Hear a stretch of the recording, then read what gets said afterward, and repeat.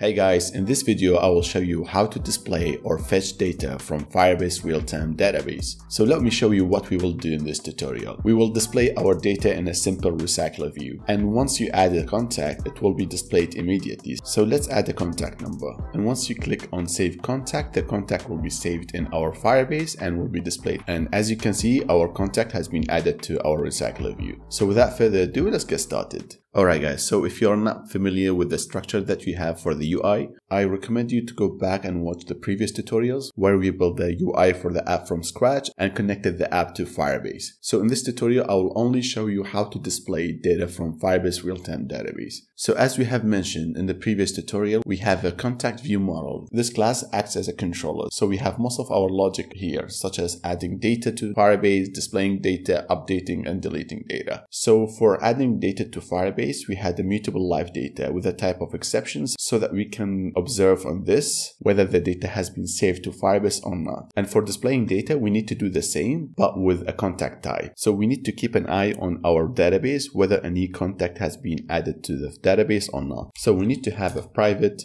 val contact and this is mutable live data. And the type of this is contact. And just like that we had one mutable live data and we need a live data so that we can observe on it. So val contact and the type of this live data. And obviously the type is contact again. And we need to get this from our private contact so once we have this, we need to add a child event listener to our database so that we know if a new contact has been added or not. So let's go down here and create an object, a private one. So private val child event listener. And this is an object with a type of child event listener. And just like that, we have an object and we had an error because we need to implement some members and the members are these and click on OK so once you imported all the members, such as on child added, this is responsible whether a new contact has been added so that we can display it. This is for an update and this is for a delete and this is for moving contact up and down and this is for cancel. So in this tutorial, we only work on this because we only want to display our data in a recycler view.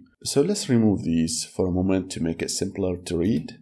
So let's create one contact object and we get this object from the snapshot that we have. So snapshot dot get value and we need to get our contact Java class. And just like that, we had a snapshot of our database and stored in this one. So we need to get the ID of each contact that we have and store it in this contact object. So contact, and this is equal to the snapshot dot key. And we need to add this contact object in our mutable live data so that we can keep an eye or observe on it, whether a new contact has been saved to the database or not, so that we can display it. So contact dot value, and this is equal to the contact that we have which cannot be null. And once we have this object, we need to pass this object to add child event listener on our database connection. So let's create this function get real time update and then db contacts dot add child event listener and then we need to pass the object that we have which is child event listener. And this function will be called in our contact fragments so that we know if a new contact has been added to the database. If so then display it. And it's also good practice to override on clear so that we remove the event listener once the fragment is cleared so override function on clear. And this we need to get our db contacts dot remove event listener. And then we need to pass the child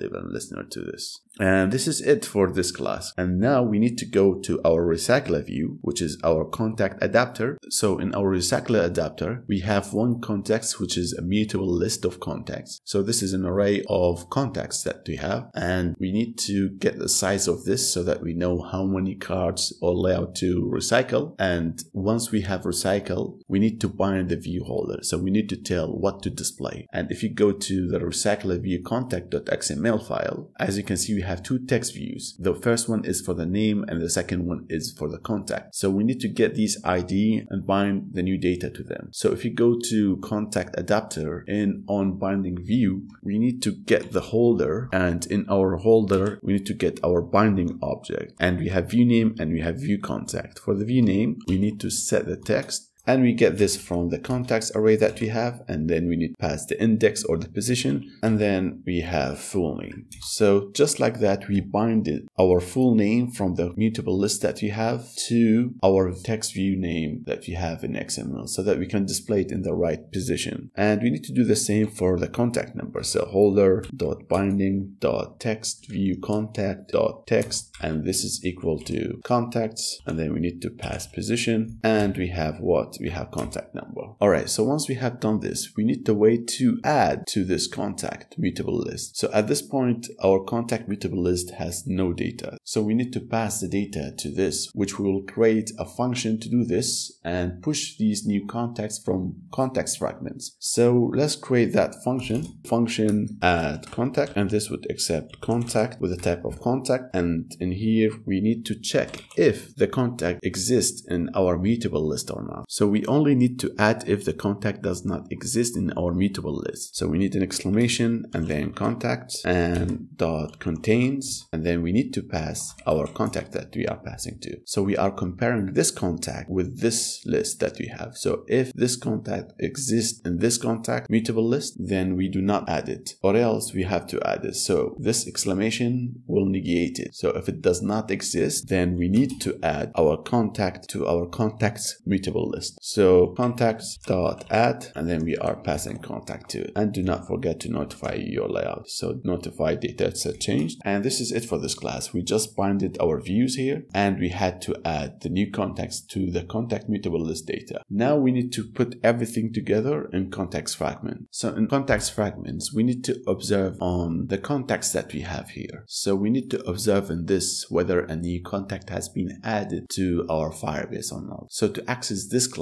from contacts fragment, we need to create an object of contacts view model. So let's do that. Private late init var, and then we will call this view model. And the type of this is contacts view model. And then you need to go to on create view, and we need to initialize our view model. So our view model equal to view model providers with an S. Guys, keep an eye on this. Dot of fragment, the fragment is this and then we need to get our class model so contacts view model and this is java class. And just like that we initialize our view model. And to add an observer we need to go to on view created. And here we need to add an observer for our contacts mutable live data that we have in our contact view model. So we need to access this object live data to see if a new contact has been added. So view model object the one that we just created and then we need to access contact and then we need to observe on this and then pass view lifecycle owner and then observer. And here we need to access our adapter class to pass new data to this. So adapter